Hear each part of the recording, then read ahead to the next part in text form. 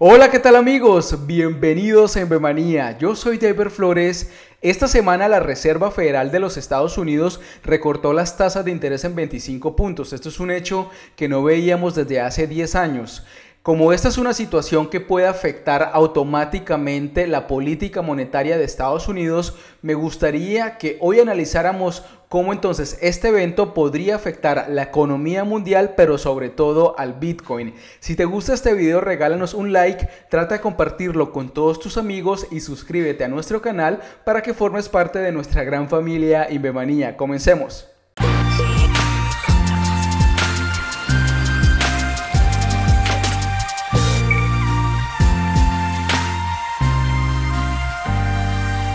Para comenzar, me gustaría que hiciéramos un análisis breve de lo que está pasando en estos momentos con el Bitcoin. Esta mañana estuve publicando en mi cuenta de TradingView el siguiente análisis. Por cierto, a todos los maníacos los invito para que también me sigan en mi cuenta de TradingView, donde periódicamente pues voy a estar compartiendo mis análisis técnicos, así como lo hago en nuestro grupo público de Telegram, arroba comunidad. Me pueden encontrar como Invemanía, como ves aquí en la pantalla. Entonces, esta mañana pues estuve compartiendo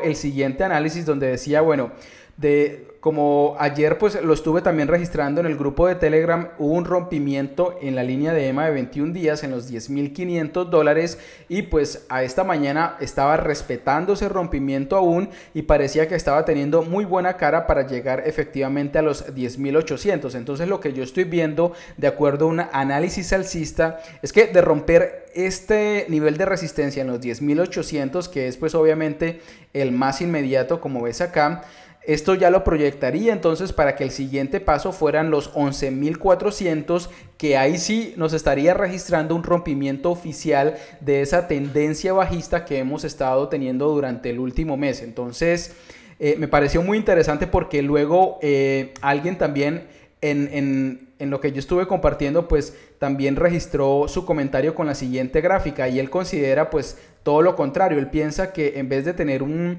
un crecimiento, digamos un rompimiento acá en los 10.500, eh, perdón, acá en los más o menos en los 10.400, es que no se ve muy bien, pues lo que va a haber es un descenso que es tal cual como él lo estuvo proyectando aquí. Entonces él tiene un análisis, digamos, mucho más bajista de, de lo que yo estuve pues compartiendo esta mañana. Entonces me gustaría saber la opinión de todos ustedes. ¿Les parece que de acuerdo a lo que están analizando en estos momentos en el mercado del Bitcoin, estamos en una situación en donde hay más altas probabilidades de tener un tren alcista tal vez a los, repito, 11.400 o por el contrario estamos pues en una tendencia o vamos a continuar en una tendencia bajista pues que podría entonces llevar al Bitcoin a niveles inferiores. Por cierto, también me gustaría aprovechar rápidamente para compartirles este análisis que pues también los estuve, eh, estuve comentando en el grupo de Telegram y es que hoy se registró un crecimiento, un salto enorme de la criptomoneda REN que es una de las criptomonedas que estuve eh, compartiendo en mi análisis del top 8 de esas monedas que le estoy viendo una muy buena proyección que podrían aprovechar de una mejor manera un salto de altcoins. Entonces, pues como ven, en estos momentos ha tenido más o menos un crecimiento eh, relativo de un 20%, 22% aproximadamente, pues que obviamente muchos han podido aprovechar. Yo, como les comenté en ese video, que por cierto, pues se los recomiendo a todos, lo veo como una, un proyecto más a largo plazo, así que pues sencillamente establecí unas órdenes de venta acá en los más o menos 1370 satoshis eh, más o menos un 60% de lo que estuve comprando para luego pues cuando haya una corrección volver a comprar y así como les he comentado que yo más o menos opero en el mediano y largo plazo. Antes de hacer el análisis sobre el posible efecto de las tasas de interés en el Bitcoin, me gustaría explicar brevemente qué son para los inversionistas que tal vez no están muy familiarizados con estos términos económicos o de política monetaria. Entonces yo lo explicaría de la siguiente manera. Las tasas de interés son esa tasa a la que el Banco Central, el Banco de la Moneda o la Reserva Reserva Federal de tu país le presta a los demás bancos de, esa economía. Entonces yo lo vería como una especie de calentador o de enfriador, dependiendo obviamente de la situación que tienen las autoridades eh, monetarias y fiscales para controlar el comportamiento de la economía. Entonces cuando por ejemplo la Reserva Federal, repito, o el Banco de la Moneda en tu país ve que la economía está creciendo desproporcionalmente y se está sobrecalentando, pues lo que hace es subir las tasas de interés para tratar de restringir la oferta monetaria y entonces hacer como más caros los préstamos o los créditos para los bancos y esto hace que luego pues los bancos tengan que subir también esos, esas tasas de interés a las empresas y entonces ahí es cuando las empresas dicen, bueno, deciden tal vez no endeudarse, ya que pues con una alta tasa de interés, tal vez pues ya ese nivel de ganancia sea igual o digamos esa tasa de retorno sea inferior a lo que ellos estaban proyectando y pues por tanto pues no vale la pena pues pedir un préstamo o, meterse en ese riesgo y esto genera pues como un enfriamiento o un freno en el crecimiento. Entonces de esa manera lo van controlando. Y por el otro lado, digamos, cuando la economía entonces está mostrando signos de enfriamiento o de recesión, entonces se bajan las tasas de interés, como ves aquí en pantalla, para hacer que los créditos o los préstamos pues sean mucho más baratos. Y esto entonces va a hacer que las empresas decidan pues pedir plata sí para invertir ya que ahora pues la relación tasas de interés de los préstamos versus la ganancia posible o el porcentaje de retorno de ese proyecto, de ese negocio que ellos quieren em, desarrollar, pues puede favorecer el tomar ese riesgo y hacer la inversión. Y este es como el juego de la economía en general. Entonces vemos como digamos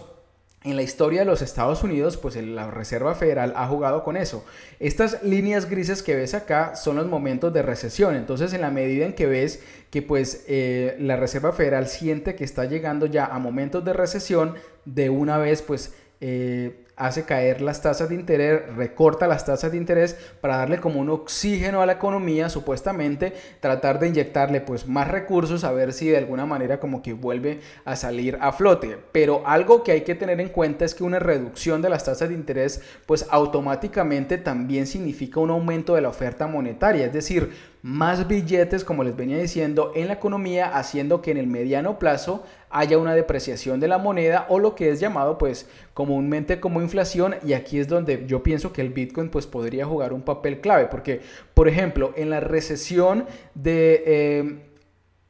de 1990, vamos a ver acá, en la recesión de 1990 vemos cómo las tasas de interés pasaron de un 8% a más o menos un 3% y luego, por ejemplo, en la recesión del año 2000 pasó, sí, como de un 6.5 a más o menos un 1.5%. Y en la última recesión que hemos tenido hace 10 años, es decir, en el 2008-2009, vemos cómo pues obviamente tuvo toda esta caída en las tasas de interés y prácticamente durante 8 o 9 años se mantuvo estable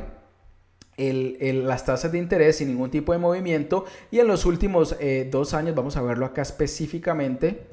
eh, si digamos desde el año 2016 entonces ya empezó a tener un ascenso importante porque pues ya la Reserva Federal entonces trató como de empezar a generar, generar un freno a tal vez un crecimiento desbordado. Y entonces en estos momentos pues la tasa de interés pasó de 2.50 a 2.25%, eh, por ciento, que en términos eh, prácticos pues en realidad no es un gran recorte, que pues incluso no era el que estaba esperando el presidente Trump, ya que pues él quería un mayor recorte de las tasas de interés para que dentro de su análisis económico pues hacer mucho más barato los créditos de inversión, reinyectar más recursos en la economía, tratar de obviamente expandirla aún más, hacer que las empresas pues desarrollen sus negocios y también que creo que es lo que a él más le preocupa en estos momentos es tratar de devaluar el dólar para hacerlo mucho más competitivo con países como la China y con Europa con esta guerra comercial pues obviamente que ha estado emprendiendo el presidente de los Estados Unidos. Y entonces esto se podría interpretar como ese primer paso que está dando la Reserva Federal de una serie de recortes que vamos a estar viendo en los próximos meses dependiendo de cómo se vaya comportando la economía. Antes de continuar, sí quiero hacer la siguiente aclaración y es que en varias ocasiones yo les he estado comentando que a lo largo de la historia del Bitcoin, pues el Bitcoin ha mostrado ser un activo, por llamarlo de alguna manera, independiente en su comportamiento frente a lo que pasa, por ejemplo, externamente, ¿no? Con la bolsa tradicional o con noticias sobre decisiones gubernamentales como por ejemplo el de, eh, las, el de la alza de las tasas eh, arancelarias que quiere eh, el presidente Trump con la economía china, es decir, tratar de poner mucho más caro los productos que eh, vienen importados de la China o también ese recorte de las tasas de interés de la Reserva Federal. Entonces, como ves, pues en realidad esta semana el Bitcoin no ha registrado un gran salto, una caída que pues muestre esa susceptibilidad a este tipo de dinámicas por fuera del mercado cripto. Como vemos,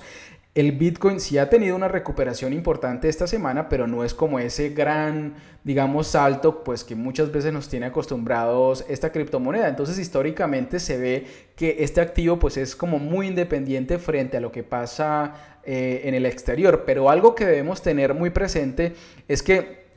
eh, esta es la primera vez en la historia que el Bitcoin pues precisamente está en una situación en donde las tasas de interés están eh, cayendo, porque si vemos eh, desde el 2009 que fue la creación del Bitcoin, pues como ves prácticamente las tasas de interés se mantuvieron estables, prácticamente cercanas a cero. Entonces, pues el Bitcoin no ha tenido como que experimentar ¿Qué, puede suceder frente a un aumento o un recorte de la oferta monetaria en la economía que podría entonces generar eh, una posible inflación? Y como el Bitcoin por su naturaleza es una criptomoneda, pero también un activo de resguardo de valor, yo pienso que estas decisiones de política monetaria sí podrían afectarlo, como lo hemos visto, obviamente guardando las proporciones con Venezuela, donde ante un evento de hiperinflación como la que ha registrado este país en los últimos años, la población pues no ha tenido otro camino que buscar otros medios de pagos y de resguardo de valor mucho más estables y pues seguros como por ejemplo el dólar o el bitcoin en este caso y similar situación la hemos estado viendo en países como la Argentina y también pues en países africanos. Y este comportamiento de las personas nos muestra claramente que hay una relación entre la política monetaria de tu país y un aumento en el uso del bitcoin. Y esto sucede porque mientras que el bitcoin no puede ser manipulado por una persona o un banco central la moneda de tu país pues puede ser fácilmente controlada o intervenida por la autoridad monetaria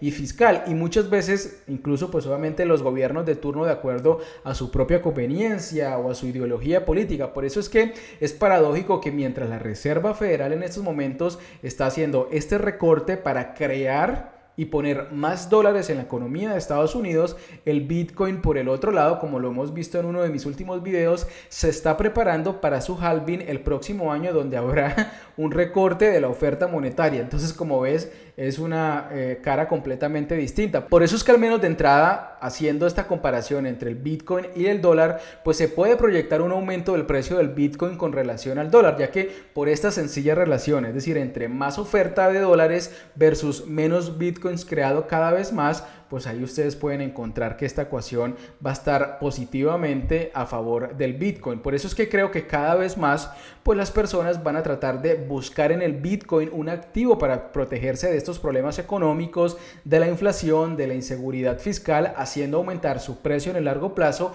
por dos razones fundamentalmente. Y con esto yo creo que especifico mucho más mi análisis. Es que primero, las bajas tasas de interés desincentivan el ahorro porque las personas van a preferir gastar más dinero ahora porque tienen la expectativa que en el futuro próximo los precios van a subir y también porque no hay una motivación, no hay un incentivo para ahorrar en el presente. Y es que para darles una idea, en estos momentos las mejores cuentas eh, de ahorros disponibles en el mercado de los Estados Unidos más o menos ofrecen un 2% de interés. Y hoy, por ejemplo, mi banco me envió un muy bonito correo electrónico donde me notifican de lo siguiente, y es que mi cuenta de ahorros tenía una tasa de interés de un 2.57% y en estos momentos, producto de la decisión de la Reserva Federal, pues lo recortaron a 2.32 y en realidad pues este ha sido la mejor tasa de interés que he podido encontrar en el momento pero como les digo en promedio más o menos es de un 2%. Entonces, si la Reserva Federal está proyectando una inflación del 2% para el 2019,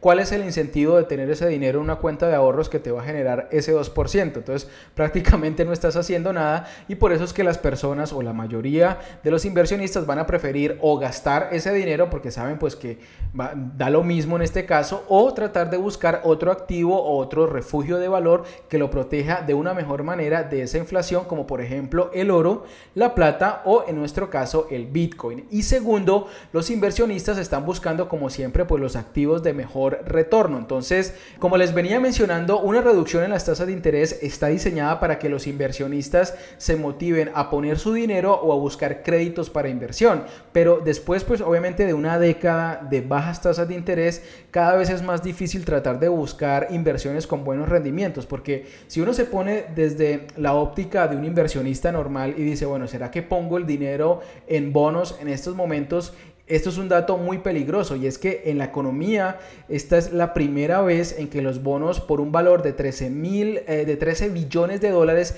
tienen rendimientos negativos o pérdidas. Y como ves en la gráfica pues prácticamente ya superamos eh, el nivel récord que tuvimos en el 2017 entonces esto también pues obviamente genera una alarma. O el inversionista puede pensar, bueno, ¿será que entonces pongo el dinero en la bolsa? Bueno, el mercado bursátil en realidad sí ha tenido un gran crecimiento en los últimos 10 años. Hemos visto pues como una explosión en el mercado eh, bursátil tradicional, pero pues en estos momentos muchos analistas están coincidiendo que ya prácticamente se acabó el baile, es decir, que ya como que eh, la mayoría de las acciones tienen un precio muy alto y no es una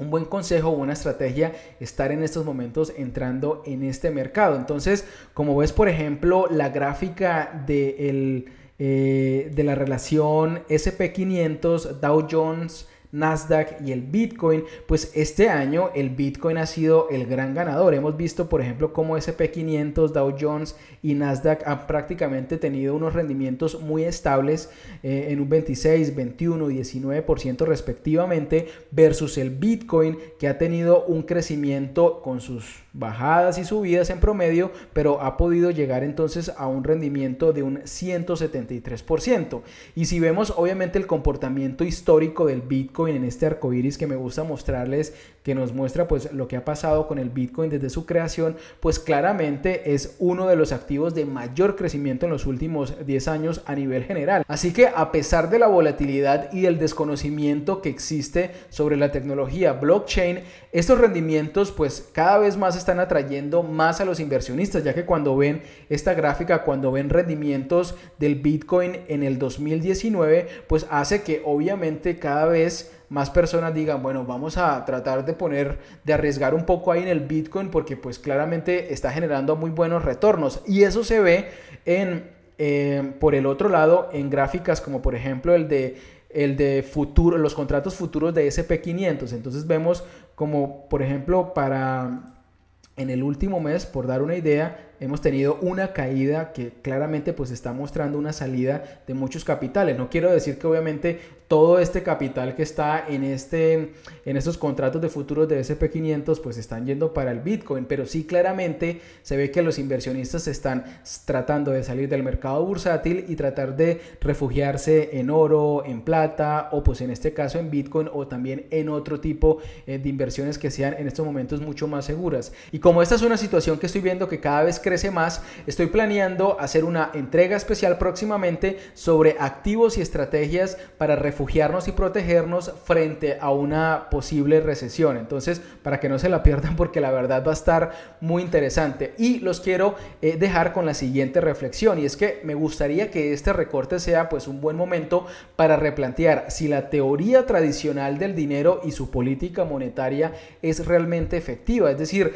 estar imprimiendo dinero sin ningún tipo de respaldo es lo más saludable. Ya lo hemos visto como históricamente pues esto es una estructura monetaria muy rígida, muy repetida, es la misma fórmula que sacan todo el tiempo en las autoridades monetarias y que finalmente nos llevan a lo mismo, a la inflación y a recesiones muy profundas. Entonces, en vez de continuar con lo mismo, yo creo que esto puede ser un, un buen momento para que haya un consenso y efectivamente muestren que esto no es sostenible en el largo plazo y que hay que buscar otras alternativas. En estos momentos, solo para dar una idea, vemos como la China, como Europa, como Japón y como los Estados Unidos, pues están aplicando estas mismas fórmulas de políticas monetarias porque pues están entonces en una carrera para mantenerse competitivos en el mercado mundial, pero a costa de quiénes? Pues a costa obviamente de nosotros, ya que pues definitivamente este tipo de recortes favorecen solamente a las empresas y al mercado bursátil, pues para tratar de impulsar aún más de inflar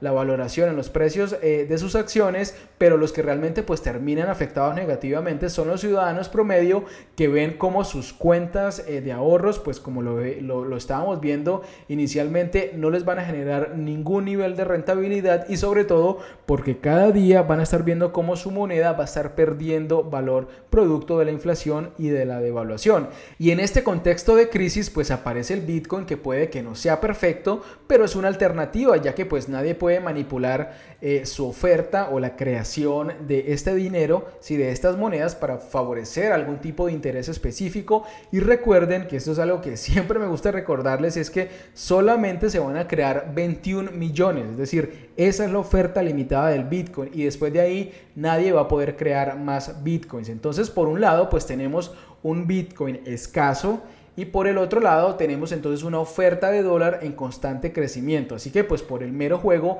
entre oferta y demanda y por todos los argumentos que les he estado compartiendo en este video, pues espera que el Bitcoin eh, irremediablemente tenga una proyección alcista en el largo plazo. Por eso es que luego de hacer todo este análisis me gustaría preguntarles lo siguiente y es que ustedes prefieren entonces poner su dinero en un activo que va perdiendo valor en el tiempo o poner su dinero en uno donde puedan protegerse y que ha demostrado estar en constante crecimiento como lo es el Bitcoin. Por eso es que es muy importante que ya una vez ustedes se protejan con el Bitcoin puedan transmitir todo este conocimiento y este instrumento de protección frente a lo que se viene, frente a una posible recesión entre tus familiares y amigos. Yo sé que todos ellos van a estar eternamente agradecidos con todos ustedes en el futuro. Muy bien amigos, esto es todo lo que tenía para compartirles en este video. Espero como siempre que haya sido de mucha utilidad. Y antes de despedirme, me gustaría saber ustedes qué piensan. Consideran que eh, si continuamos teniendo recortes de las tasas de interés por parte de la Reserva Federal de los Estados Unidos,